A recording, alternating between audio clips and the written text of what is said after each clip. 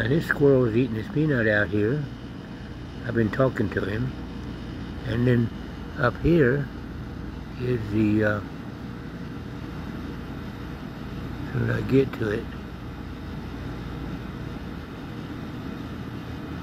is the uh, chickadee, chickadees on the uh, suet.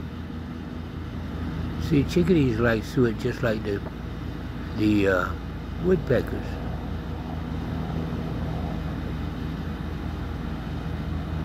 Chickadees like it, Carolina wren like it, and the, and the uh, woodpeckers like these these suet uh,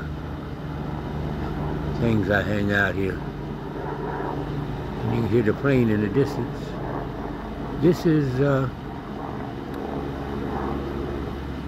June the 1st, Saturday afternoon.